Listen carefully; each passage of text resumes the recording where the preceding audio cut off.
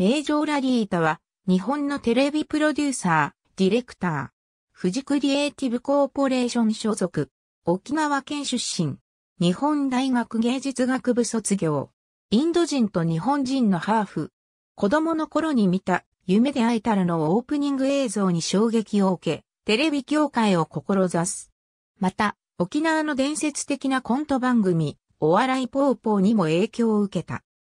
もともとはドラマが作りたかったというが、2000年にフジテレビジョンバラエティ第2制作部に配属されて、最初に担当したのが森田和義アワー笑っていいとものアシスタントディレクターで、そこでバラエティ番組の凄さを感じ、番組制作の基礎から企画をすぐ形にする瞬発力を勉強したという。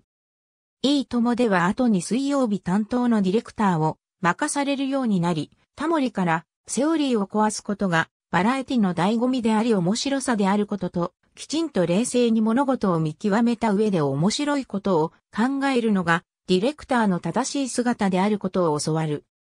その後、スマップスマップでもチーフ AD を担当し、木村拓哉と当時高校生だった宮里愛のゴルフ対決での木村の態度に物申したことがきっかけで逆に木村からオファーを受け、スマップスマップでディレクターデビューとなり、複数のコントコーナーを手掛けた。後に、全力、脱力タイムズで、総合演出として参加。報道番組の体を崩したシュールなコントスタイルの番組作りが話題を呼んでいる。